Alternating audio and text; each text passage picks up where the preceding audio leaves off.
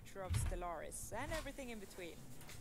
If you haven't seen everything Paradox has to offer, plenty of our games are available right now on Xbox Game Pass. This is just the beginning too. We've got a whole weekend of the XCON remix to look forward to. So Se on behalf of all the Paradox, Se viene. hey, why did you turn off the lights? I wasn't done saying thank you to everyone. ¡Ay! Well, well, well, we might have just one more thing to share with you today. Venga, que se viene, venga, que se viene. Que se viene, venga.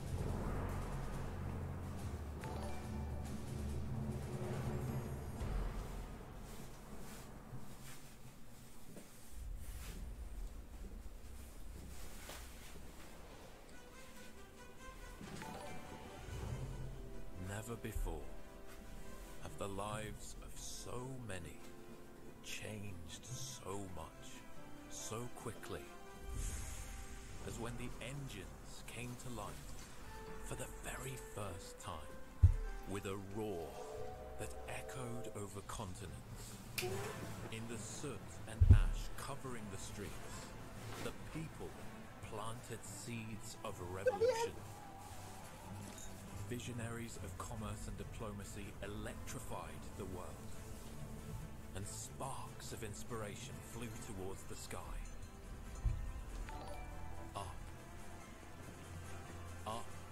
Over the smokestacks rose a promise of a grand tomorrow. ¡Vamos! ¡Tío, por fin! ¡Dios! ¡Vamos! Coño, voy a decir esto. It is ¡Dios! ¡Por Welcome fin! to the remix, the game ¡Por fin! ¡Dios! 3, Martin Anwar. El tío que dirigió Stellaris, tío. Grande. ¿Quién no creía? But what, you probably are not asking, is Victoria 3?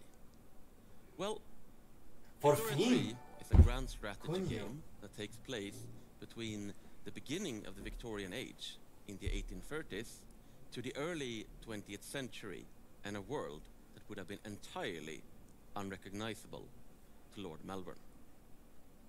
The 19th century saw the expansion of railways, the invention of the telegraph, mighty steamships, new weapons of war, and, most importantly, new ways of viewing the world. The abolition of slavery and serfdom, the fight for the emancipation of women, the trade union movements, the effects of nationalism and pan-nationalism, socialism and free trade liberalism. La puntita. Una imagen. you, La course, puntita, you chicos. already know all. So what can you expect from Victoria 3? Well, for one, the iconic pop system that is so Poblaciones confirmadas. franchise is of course back, deeper than ever. And we've also added political interest groups and a new, robust market system.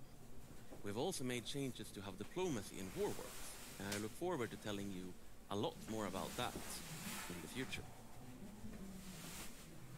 Now, we recognize that Victoria has a special place in our hearts, and we promise you we are not moving away from the detailed population management that is at the core of the series. We have learned a lot over this decade, and we want to use that knowledge to build the deep and immersive society sim that you would expect and that the fans deserve. But we also want to make use of that knowledge to make the game a bit friendlier Obvio. to newcomers that they too can enjoy the Victoria Vale. series. Pues todo lo esperable de momento, ¿eh? Now, it is way too early to be talking about a release date or even a release window. But keep an eye on our social media and official forums, including Discord, as we'll be posting regular updates and information as 3. it progresses. Han anunciado el puto Victoria 3. We also have a few panels about Victoria 3 coming up right here at PDXCon. Hay un panel ahora, ¿vale? Lo vamos a ver. Antes de comentar cosas de- detenidamente, vamos a ver el panel del Victoria 3. to ¿vale, have been entrusted with the development of a game that so many people have been clamoring for over the years, and I very much look forward to telling you all Ah, about tío. it. ¿Y ahora cuándo sacan el Victoria 4? ¿Para cuándo el Victoria 4? Vale, chicos, a ver. Cosas que han dicho. Eh, mantienen las poblaciones, quieren que sea más igual de complejo el juego. El sistema del mercado es más es más robusto, ha dicho. Mejorarse has la a diplomacia while for you. And for us, all of us actually. y más intriga And interna o I algo así, have ha dado a quite a entender. Sí, habló de política, sí. El, el reboot al mercado. Sí, me tengo que rapar, chicos. Hay imágenes en Steam, ahora las vemos. Ahora las vemos, chicos, calma. Vamos a esperar a que termine esto. Para enseñar gameplay. Where our lead game designer Mikael will be talking about the economics of the hago game, the 38 nuts and bolts of mismo. Victoria Street's economy, Very called important. very very important, called Wikinomics. Ah, of good name. Chavales, New es Dragon, eres un cumpleaños puto porque no me amo, creo tío, lo que ¿eh? estoy We're also viviendo. going to have a New Dragon, eres un crack, called tío. Gracias por pasar for eso. Victoria, where Tenía me, miedo que fuera un Henrik pollón, Hansson pero no. Rugi, Eso es- and eso- Don Lind Podcast will be talking development history of uh, the entire Victoria series, war stories from Victoria 2, and things like that. So I think that should be a lot of fun. Yeah, that all sounds amazing. Tío, Uh, nervioso, I eh. for En one plan, can't wait to cuesta play the game. Uh, I wish you and the team best of luck. Thank you. Thank you. Yeah, I never actually thought I would be standing here and being a part of the announcement of Vicky 3. I Eh, have, igual te doy una voz ahora para que pongas. Thank you again, Martin, and thank all of you for joining us for this Yeah. announcement show. Definitely stay tuned here to see more about Victoria. Ah, but until tío. then, this has been so much fun. We saw the royal court coming to CK3. Qué maravilla, met the new loco. boss for Empire of Sin. Venga, vamos a regalar aquí una suscripción, otra más, Knights Viren and para celebrarlo. had a quick peer at Cities, got a second chance with Prison Architect, and looked into the future with Surviving Mars. I think that's puta. everything we've got. Voice person, anything else? PDXCon Remixed announcement show was made possible today thanks to the help of our friends at Razer, Joder, eh, Discord, Dios. EasyClick, Freaks for You Gaming, Tío, el mapa, tío, que parece el Empire Total War. Twitch, and ¿Qué dices, loco? Parece el Empire Total War. Vale. Hostia, pero. ¿qué A ver, vamos a echar un vistazo a esto. A ver, eh, de primeras, la provincia parece gigante. En plan, está seleccionando. Joder, me- Pero- se me quiebra la voz y todo, tío. O sea, muchas gracias a todos por los frames, chicos. Eh, Coño, pero si a mí no me sale en Steam, tío. eh, la provincia de Dublín parece jodidamente gigantesca. No sé si está seleccionando como una. o En plan, una provincia de U4 y luego puedes entrar a la provincia más en detalle, que es posible, no lo sé. Hay pocas ciudades, parece ser. No veo muchas ciudades, chicos. Eh, y bueno, esto que están seleccionando, Leinster. Claro, Leinster, un mercado británico, edificios, información, pestaña general, infraestructura, uso de infraestructura, acceso de mercado, eh, ingresos, taxas, gastos. Hay gastos por provincia. Edificios, la población. La población no son pops, o sea, son miles de población. Como en el Victoria 2. Hay dos millones de población en esta provincia. No, no son pops. En plan Imperator o... Puto Fredrik diciendo Victoria 3 confirmes. Hostia puta, tío. Y aquí a la derecha, grupos de interés, inteligencia, industrialistas. Vale, hay facciones internas, tío. Eh, burguesía de, del pueblo, iglesia anglicana. La iglesia anglicana que entiendo que sea exclusiva del Reino Unido. Pequeña burguesía, fuerzas armadas. O sea, las fuerzas armadas son una facción independiente. Gente rural, sindicatos. Oh Dios, chicos. China. Mercados. Joder, ¿estás viendo esto, Will? Qué grande, Lord, gracias. Eh, muchísimas Dice gracias que- a todos. Que eh, no, que no lo encontraba, que no lo encontraba y. y Ah, vale, lo- perdón, te habría pasado el enlace, tío, joder. Ah, tío, cómo mola. Mm, no estoy del todo in con el mapa. Yo sí, tío, yo sí. Sí. A tope, me lo compro. Me hago tres pajotes con este mapa. O sea, Eh, la interfaz veo me pocas flipa. ¿eh? provincias, veo pocas ciudades, Sí. eso sí es verdad. Sí, sí, sí. Pocas ciudades, tío. ¿Qué años Pero abarca? visual- visualmente yo, yo ya me lo como, ¿eh? Vemos 1836. Supongo que llegará hasta 1936. Me recuerda un poco a Civilization. Visualmente. Ah, mira, eh, qué bueno que han enseñado China, o sea, Asia. Se ve ahí Hong Kong, la parte Esto es esa de. Taratatata. Joder, es que ¿sabes qué pasa? Que creo que va a haber como muchas partículas volumétricas y tal. Y me da la sensación de que se va a ver mejor en movimiento este juego que ahora mismo en imágenes fijas, tío. Pero las ¿Te has 3 son una locura, tío. ¿Te has Con fijado? y todo, sí, sí. ¿Te has fijado de que Gran Bretaña no es primera potencia mundial, que es la segunda? En, en las fotos. Ya ves. ¿Quién está por encima? ¿Francia? Francia, ¿Rusia? Rusia. ¿Quién será? Mi Los hija está a otomanos en octava. 77. Hay personajes. O sea, Eso es lo que quería ver, hay personajes, tío. tío. Está el puto rey Guillermo de Hanover aquí, con su heredero. Con su heredero. Uy, me desmayo. tío. Fíjate que tiene, que tiene población rural. Rural folk. Entiendo que tendrán una representación de lo que es la- el urbanismo y, y la llegada de la gente a las ciudades y, y- fuera de- de- del mundo rural.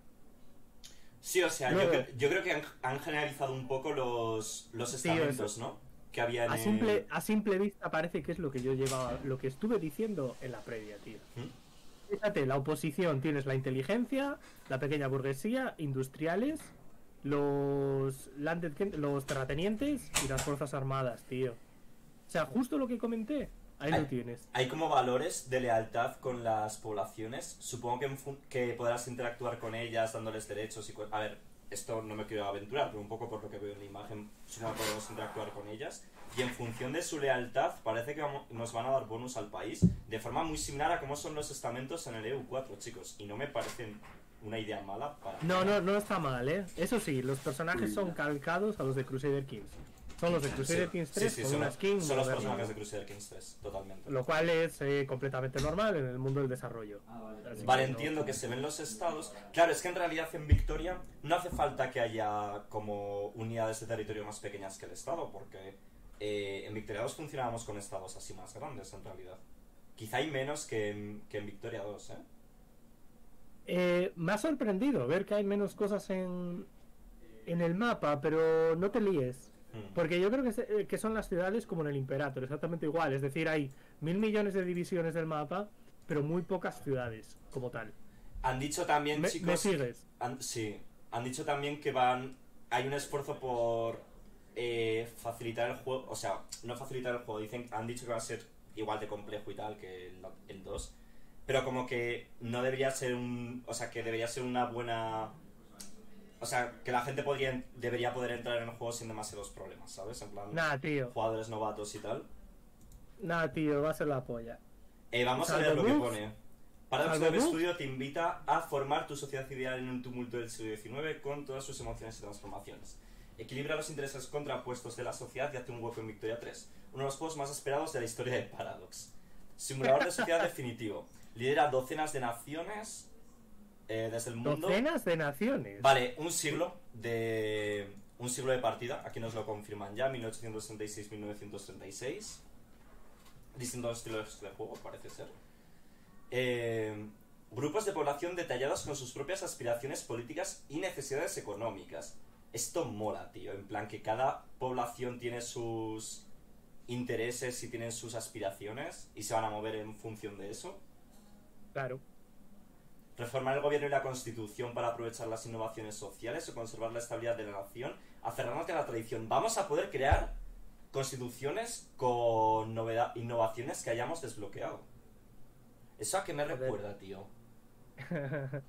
Está de puta madre, tío. Hostia, está muy bien, ¿eh? Investigar nuevas tecnologías e ideas transformadoras para mejorar la situación de tu nación. Y hay semana de descuentos de Paradox, ¿vale? Sí, es verdad, hay descuentos de Paradox, chicos. Sistema económico profundo. Amplía tu industria para aprovechar los bienes lucrativos y graba los beneficios para contribuir a la prosperidad nacional. Mira, podéis crear vuestros estados tributarios ideales, chicos.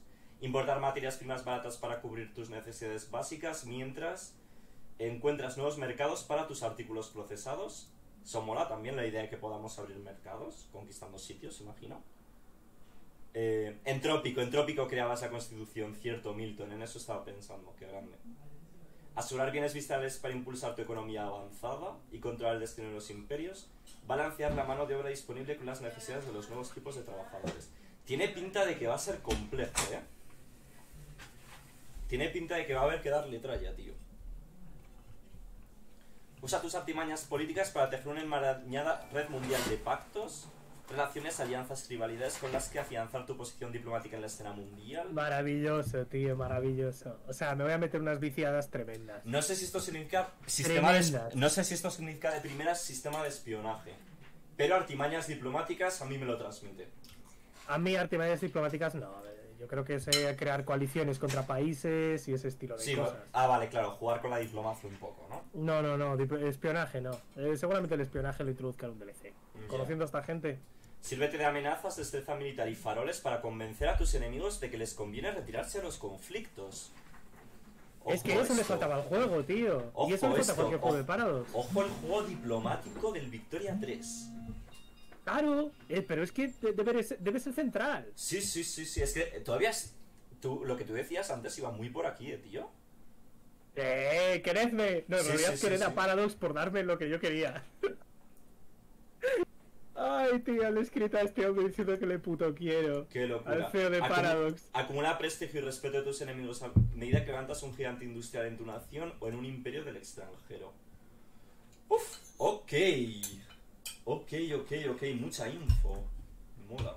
Legitimidad del gobierno.